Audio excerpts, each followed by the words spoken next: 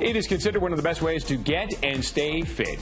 HIIT workouts, HIIT, is that right? Are guaranteed to make you sweat. You're looking for a fun way to sweat with friends. HIIT the 6ix is taking place in Toronto next Saturday, and here to walk us through what we need to know about the style of workout that we're talking about is Greg Hetherington from Toronto's Fuel Training Club. Thank you very much, and we've got Corinne and Kale as well helping out here. I'm just watching, doing a great job.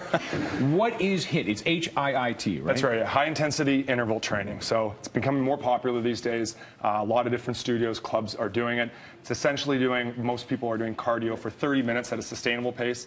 HIIT is at a more high intense pace, so you have to go really hard. And you can see Corinne, if she was doing this, she wouldn't be able to like do it for 30 minutes. It's way better it's, than It's doing. way easier, I know what you want. So, than doing. so then you'd switch up, take a little rest, and go at it. So you go with hard bouts of, of exercise, Yeah. followed by recovery. So it's almost like an athlete, like a, a- football game or a hockey game. You, you go, recover, go, That's it. recover. exactly. right? You're looking at a hockey shift. I mean, you could you could definitely change if, if it's a football shift or even if you're playing soccer along those lines. And this is what you guys are going to be doing next week at uh, Lamport Stadium. that's And You got five clubs that are involved in this. Yeah, five local uh, owner-operated clubs: um, All Day Fit, Fit Squad, Resilience Fitness, Strive Life Athletics. Uh, it's a small industry, so we all know each other, and, Yeah.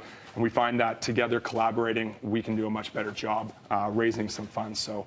Uh, same style. We're all a little, all, a little different, but same values. Uh, and, and for us, we find that this is the most efficient way to get people to work out these days. And you're going to get them out for Princess Margaret, right? Yeah, Princess Margaret Cancer, Cancer Foundation. So our target is uh, just over $10,000 to raise. Uh, there's 250 tickets available. I believe we're at 200 now, so we're we're getting close. We've got another week to uh, to finish getting those tickets sold. All right. So if you want to help, if you want to join, where can they go to join? They can join at fueltrainingclub.ca, Yep. uh, and from there we're going through HIIT the 6ix in our events section.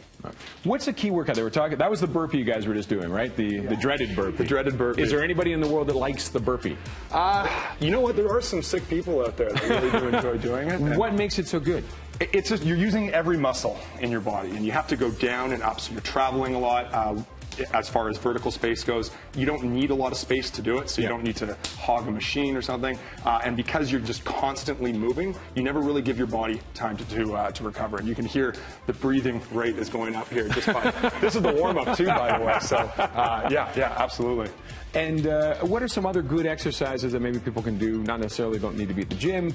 You at the house, you're working out. Right, right. So you can see we've got a pretty small patch of grass here that we're Yeah. working with, and all of these things can be done over the top. So if you're on the hurdle, you're going over and back and forth. Uh, I can do this one, I think. Yeah, this is an easy one. Well, this is the warm up too. So Oh, we'll get into.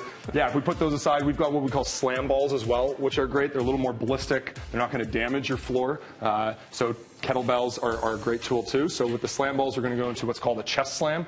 So if you guys grab those there, picking those up. And the goal here, it's just like a squat or a deadlift to keep your back nice and straight, throw them down, purposely get the ones that don't bounce, so you have to get a little more work to, uh, Get down there. get down knees, there. always the knees, right? Yeah, yeah, you can see knees coming over top of the toes. That's an important part. A lot of people are concerned with what happens to your knees. As long as your knees are going over top of the toes, as long as your back is, is staying straight, it's a very safe exercise. Okay. Can we go back with the burpee? Is there a Mm-hmm, correct way, and are there? What's the incorrect way? Absolutely. Okay, so Corinne, if she shows from the side, is going to show a correct way. So back is staying straight.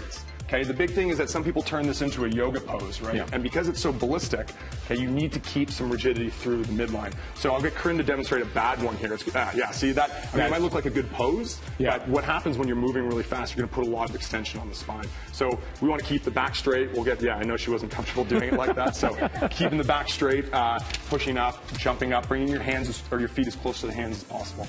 All right. And uh, you had me planning. I'm doing something, am I not? So yeah, I, I believe uh, the general population should be able to do about six burpees in 20 seconds. So I think what I'm going to do here. Wait, give me another. Give, Another demo So you the burpee? one more demo. Yeah, yeah, let's see this bur- I've never so done a burpee in my life. There What you go. Okay, wrong? I'm t- clock has started by the way, so no more excuses. Now there what? you go. And then hop back up. Yeah, there you go. One. Yeah, that's one. Okay, we're five seconds in. We've got a decent Dude. pace happening here. So for you guys at Is home that three trying yet? this out, you can also Am I having a heart attack yet? Four.